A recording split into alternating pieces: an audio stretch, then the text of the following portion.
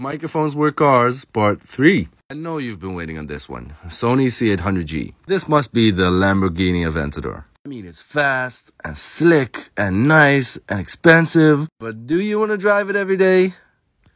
Do you want to pay for maintenance? I don't think so. One up is the Aston Spirit. To me, this is the Cybertruck by Tesla. They're both fairly new brands. They've got really cool design. And I mean, look at it. They've got the same paint job. Or, well, I mean, the same lack of paint. Another Neumann, the TLM 102. We get it. You really wanted to get a Mercedes.